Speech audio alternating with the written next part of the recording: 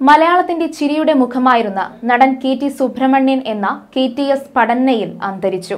എൺപത്തിയെട്ട് വയസ്സായിരുന്നു. വാർദ്ധക്യ സഹജമായ അസുഖങ്ങളെ തുടർന്ന് ഏതാനും ദിവസങ്ങളായി കടവന്ത്രയിലെ ഇന്ദിരാഗാന്ധി സഹകരണ ആശുപത്രിയിൽ ചികിത്സയിലായിരുന്നു.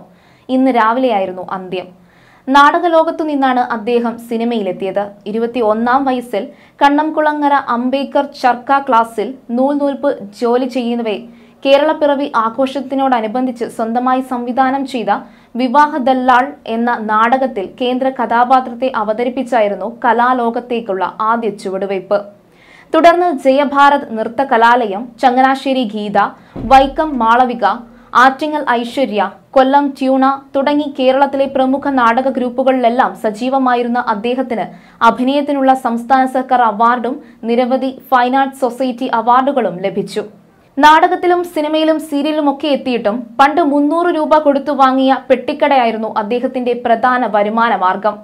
പുലർച്ചെ രണ്ടേ മുക്കാലിന് എഴുന്നേറ്റ് രണ്ടര കിലോമീറ്റർ നടന്ന് തൃപ്പൂണിത്തറ കണ്ണൻകുളങ്ങരയിലെ പെട്ടിക്കടയിലേക്ക് എത്തുമായിരുന്നു. നാടകത്തിൽ നിന്നും പെട്ടിക്കടയിൽ നിന്നും ലഭിച്ച വരുമാനത്തിൽ നിന്നാണ് നാല് മക്കൾക്കും വീടും ഉപജീവന മാർഗവും ഉണ്ടാക്കിയെടുത്തത്. സിനിമയിൽ നിന്ന് കാര്യമായ സമ്പാദ്യം ഉണ്ടാക്കാൻ അദ്ദേഹത്തിന് സാധിച്ചില്ല. മതിയായ പ്രതിഫലം പോലും നൽകാതെ കബളിപ്പിക്കപ്പെടുന്ന സാഹചര്യം പലപ്പോഴും ഉണ്ടായി. ഇനി ചാൻസ് ചോദിച്ച് ആരുടെ അടുത്തും പോകില്ല. അങ്ങനെ പോകാതിരിക്കാനാണ് പെട്ടിക്കട നടത്തുന്നത് എന്ന് പടന്നയിൽ പറഞ്ഞിരുന്നു. എങ്കിലും തേച്ചുമടക്കിയ ജുബയും മുണ്ടും അടങ്ങിയ ഒരു പെട്ടി ഇപ്പോഴും പെട്ടിക്കടയുടെ മൂലയിൽ അദ്ദേഹം തയ്യാറാക്കി വെച്ചിട്ടുണ്ട്. സിനിമയിൽ നിന്ന് ഒരു വിളി വന്നാൽ ഉടനെ പുറപ്പെടാൻ.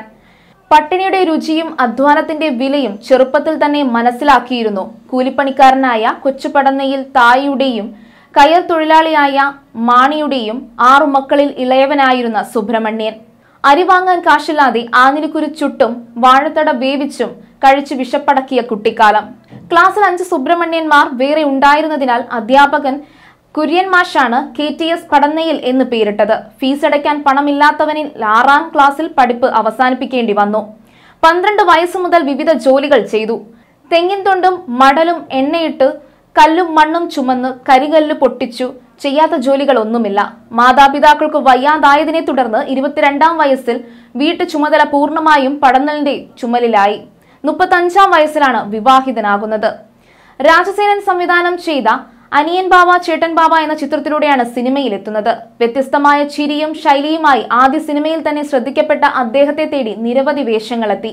ശ്രീകൃഷ്ണപുരത്തെ നക്ഷത്ര തിളക്കം ആദ്യത്തെ കൺമണി വൃദ്ധന്മാരെ സൂക്ഷിക്കുക കളമശ്ശേരിയിൽ കല്യാണയോഗം സ്വപ്നലോകത്തിലെ ബാലഭാസ്കരൻ കാക്കയ്ക്കും പൂച്ചയ്ക്കും കല്യാണം കോട്ടപ്പുറത്തെ കൂട്ടുകുടുംബം കഥാനായകൻ കുഞ്ഞിരാമായണം അമർ അക്ബർ അന്തോണി രക്ഷാധികാരി ബൈജു ഒപ്പ് തുടങ്ങിയ നിരവധി സിനിമകളിൽ ശ്രദ്ധിക്കപ്പെടുന്ന വേഷങ്ങളിൽ അഭിനയിച്ചു. നിരവധി ടെലിവിഷൻ സീരിയലുകളിലും അഭിനയിച്ചു സന്മനസ്സുള്ളവർക്ക് സമാധാനം പകിട പകിട പമ്പരം തുടങ്ങിയ സീരിയലുകളിൽ വേഷം ശ്രദ്ധിക്കപ്പെട്ടു പരേതനായ രമണിയാണ് ഭാര്യ ശ്യാം സ്വപ്ന സന്നൻ സാൽജൻ എന്നിവരാണ് മക്കൾ You are watching You are watching You're watching me and you're watching me on, on metromatney.com. on metromatney.com. metromatney.com.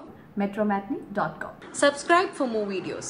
subscribe for more videos. Subscribe here for more videos. Subscribe now. Thank you.